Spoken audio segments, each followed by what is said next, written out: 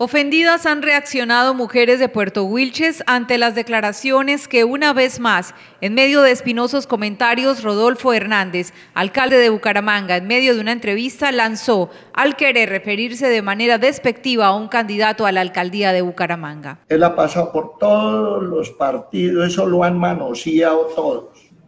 Eso, eso mejor dicho, lo han manoseado más que una prostituta de, de, de Puerto Wilches, que lo único que no le pasó por encima fue el ferrocarril. Este comentario no hizo esperar reacciones y pronunciamientos de mujeres oriundas de esta municipalidad, desde donde ahora piden respeto y disculpas por parte del polémico y para muchos grosero alcalde. Yo no sé si usted Tal vez por el paso de los años ha olvidado que a las mujeres, sin excepción alguna, merecemos respeto las arquitectas, las ingenieras, las abogadas, las psicólogas, las periodistas, las pescadoras y aún las mismas prostitutas a las que usted tanto menciona de forma tan despectiva tienen una historia, una familia y un derecho inviolable a su buen nombre. Necesito que se rectifique sus señalamientos hacia las mujeres de esa población y de esa ocupación, a las que usted le faltó el respeto de frente. Desde Puerto Wilches, en defensa de sus mujeres, el género pide respeto por haber sido utilizadas a manera de ofensa,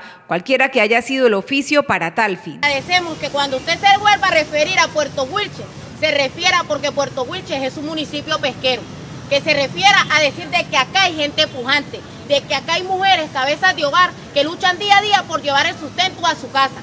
No se refiera solamente a Puerto Wilches para decir de las prostitutas, porque al fin y al cabo es su labor. Así las cosas, el controvertido alcalde de Bucaramanga ahora tiene más reproches que amores en Puerto Wilches, cosa que ahora tiene en aprietos a la mujer que desde su intención política a la alcaldía de este municipio lo muestra como ejemplo a seguir. Además de esto, al alcalde Rodolfo Hernández poco o nada le ha importado que por ser funcionario público no debe hacer proselitismo político. Por ahora, excusas públicas esperan las mujeres ofendidas en el vecino municipio de Puerto Wilches, Santander.